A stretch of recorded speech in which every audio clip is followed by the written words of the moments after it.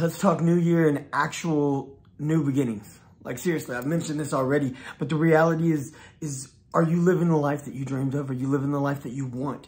Are you in the particular environment, employment, um, job, business? You, you know, you an entrepreneur is your investments, it's your business going the way you want it to. Are you providing the type of life that you wanted to provide for your family, for your wife, your kids, your husband, your whatever? You know, are you being able to do the things you want? Are you being able to look out for your, you know, we're about to have my mother-in-law move up here to be close to us.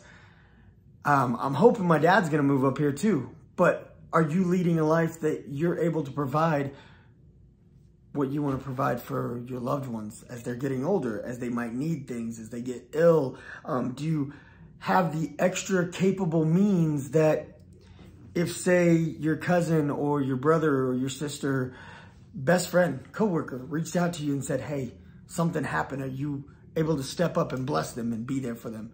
Help them through that difficult situation. Ultimately, there's lots of people that are looking at 2024 as this is a year that things are about to get really bad. And ultimately the reason everybody's looking at it that way is because everybody's got the wrong perspective. Now, it doesn't mean that there's not problems in the world because there absolutely is, but people's perspective is all in, a, they're approaching it with manipulative intent. They're approaching it from the perspective of wanting to win, of wanting their side to be the hero, right? And it's, it's an election year, okay? It's an election year. It's a big deal. So the media wants you to believe what they want you to believe. Either they want you to be on the side of the government or they want you to be against the government or they want you to be on the left or they want you to be on the right.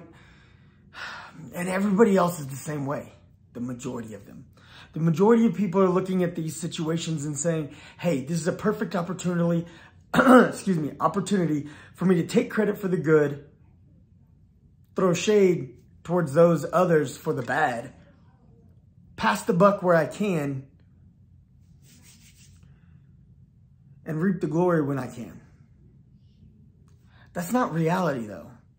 The reality is that everything in the world takes time. Almost nothing has, almost everything has a ripple effect. Almost nothing has instantaneous effects. Some things do, but most things don't.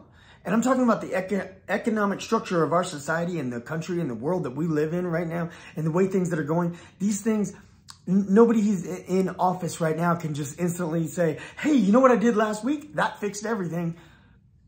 Or, hey, you know what that guy did last week? That ruined everything. Because it doesn't really work that way. And the reality is if you take a step back, you really get away from all the headlines, all the social media, all the mainstream media, all the noise of your coworkers and your buddies and your pals. And they all just mean well. They do. I mean, you know, a lot of them are manipulative, but some of them truly mean well. Your buddies, your pals, your cousins, you know, they're trying to tell you things because they care, because they bought into a soundbite. And the soundbite at the time sounded logical, sounded like it made sense. Are we worried about the dollar right now? Are we worried about crypto? Are we worried about the stock market? Are we worried about inflation? Are we worried about the price of gas? Man, the price of gas is the lowest it's been in several years now. But there will be people who will argue with me that I'm wrong. And that's fine. Ultimately, all that matters is this is the year of opportunity, though. Regardless of the price of gas, regardless of the price of a jug of milk, regardless of how much the housing market, and the housing market is off the chain, man. That mess is ridiculous. There are houses that are going for so much more than they should, and there's other people who don't realize the value of their houses, and it's we're in a very fickle market. I got a couple of buddies who are in real estate, and this is not something that I don't know what I'm talking about. I absolutely do. Real estate market is kind of wild right now. And if you're really good, you can make a whole lot of money. If you're really good, you can snake a great property. If you're really patient and willing to compromise, you can get in that good spot. But it's also an opportunity for people to take advantage of those because other people don't know how they're being taken advantage of because of the way the market's fluctuation, the way the market's so fickle, and the way it's just, just kind of all over the place. That causes a lot of uncertainty, unsettle in your in your chest, in your stomach, makes you question everything. Do I know what I'm doing? Is it going to be okay? You know what you need to do? You need to start making more money. Stop worrying about where the world's at. Stop worrying about where the economy's at. Economy fluctuates, man. It's not the first time it's been down. It's not the first time it's been up, and it won't be the last time that it's been up or down. There's good and bad things in the economy right now. I promise you, there is good and bad things in the economy right now. But there's going to be more bad and there's going to be more good. And it's going to be okay because at the end of the day, it's all a matter of what you allow to affect you. And if you're going to allow it to control it. And some people have this idea, oh, well, we can't control it because it's going to control us. No, it's really not. You got to step up and make changes. If you don't have the life that you want, do something you've never done. Yeah, that's right. If you haven't started that business yet that you've been, you've had it in the back of your mind, for a long time. You wanted to launch this business. You had this great idea. Is this product that everybody needs that isn't out there? Or maybe there's a product out there and you're like, it could be better. This is that chance, man. This is that opportunity right now. Right now, because right now, we are in a special moment. We've been in a special moment over the last couple of years. People don't see it. There's a lot of people who do, but there's too many that don't. And it's because if you focus on the good, you got no control. People want to focus on the bad so they can control. People can focus on the bad and say, hey, look what he messed up. Look what she messed up. Look what they did. Look what they did. It's like, no, no, no, no. And people have this inherent need to complain and whine and cry and bicker over nonsense. We are in a moment of rebirth. Anything and everything can be produced. Yeah can be produced. Whatever your idea is, if it's out there, you can produce it better. You can probably produce it cheaper. You can probably produce it quicker. You can add that little special flair that only you have.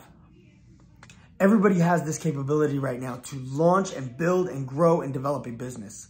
Everybody does. Are you going to jump on it? Are you going to let that opportunity slip by one more time? Moments like this don't come often in a lifetime. They really don't. These moments are rare and far between. And like I said, you can focus on all the bad that's all around you because there's a lot of it. Or you can see this opportunity, seize the moment, seize it. like my man M said, you got one chance, one chance. Seize the moment freeze it and own it. This is yours. It's right here, right here, right now. Just take it. Because if you don't, somebody else will. You want something different?